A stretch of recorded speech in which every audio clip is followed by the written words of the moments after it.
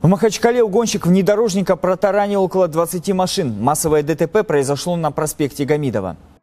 Пресс-служба МВД Дагестана сообщает, что мужчина угнал автомашину с мойки и попытался уехать. По словам очевидцев, он угодил в небольшую пробку и, пытаясь скрыться с места происшествия, протаранил впереди стоящие машины и зацепил еще несколько дорогостоящих авто.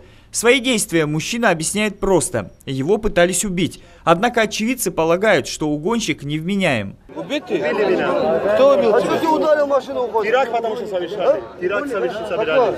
Собирали. Подозреваемый был задержан и доставлен в полицию. В ходе допроса Артур Беркиханов начал сообщать несвязанную информацию. Машина ваша была? Не моя. Для чего взяли? Для уважения закона. Чтобы уважали каждого Сколько машин зацепили? очень много. А где работаете вы? ОВД, ФСБ. Всего в результате массового ДТП пострадало около 20 машин. В случае подтверждения информации угона или кражи транспортного средства злоумышленнику грозит лишение свободы сроком до трех лет.